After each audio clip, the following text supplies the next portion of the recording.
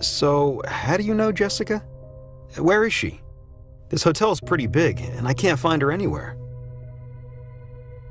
Oh, Jessica's my friend. She's not here, of course. I always wanted to become a nurse, you know. Let me tell you about it. My father and his best friend built this hotel. It's very brave of him to make such an investment, now that we're nearing the end of the 19th century. I'm so proud of him.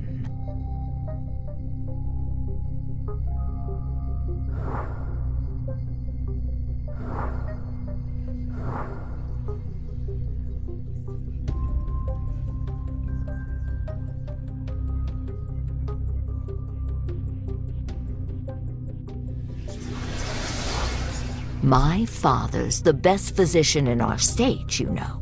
Last week, he assigned me as the head nurse. I've been asking him for the position since I turned 18. My fiance's quite smart as well. He's about to invent a cure that will save everyone. My father doesn't want me to marry him, though.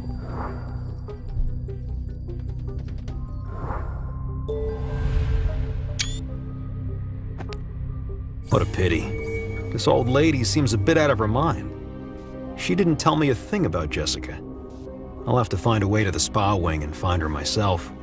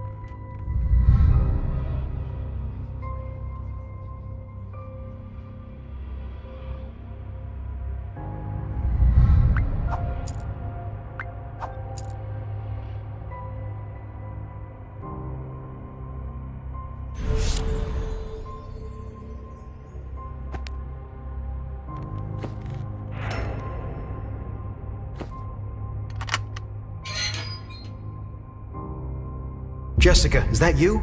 Excuse me, miss. Where are you going?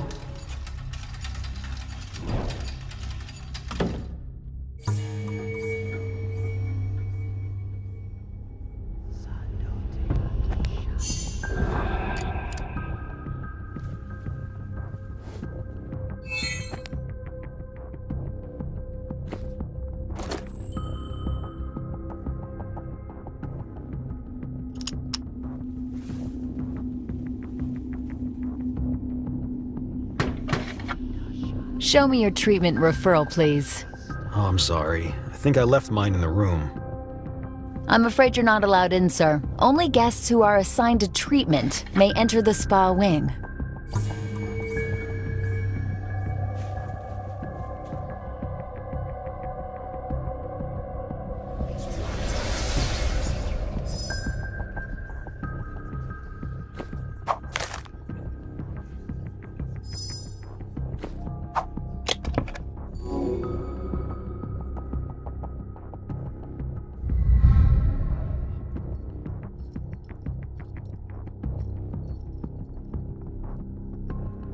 Thank